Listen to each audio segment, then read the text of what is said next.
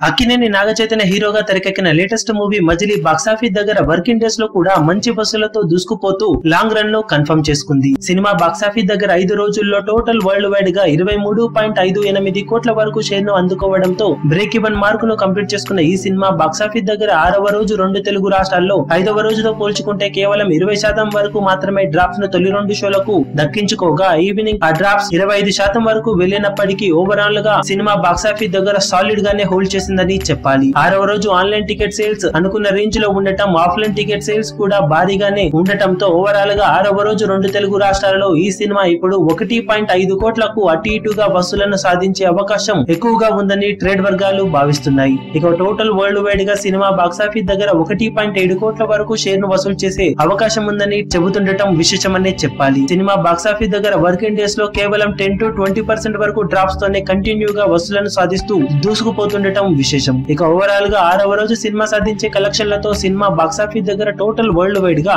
ఇరవై ఐదు కోట్లకు పైగా షేర్ అందుకోవడం కన్ఫర్మ్ అయిందనే చెప్పాలి. నాగచైతన్య కెరీర్లో ఇది రెండవసారి ఇరవై ఐదు కోట్ల షేర్ మార్క్ అందుకున్న సినిమాగా చెప్పుకోవచ్చు. ఇక బాక్సాఫీస్ దగ్గర సినిమా లాంగ్ రన్లో రా రెండు వేడుగా చూద్దాం నెలకొల్పిన ఇరవై తొమ్మిది కోట్ల టార్గెట్ను రెండో వీకెండ్లో అందుకునే అవకాశాలు పుష్కలంగా ఉన్నాయి. ఇక ఆరు రోజుల అఫీషియల్ కలెక్షన్ వివరాలు ఎలా ఉంటాయో చూడాలి. ఈ వీడియో మీకు నచ్చినట్లయితే లైక్ చేయండి షేర్ చేయండి.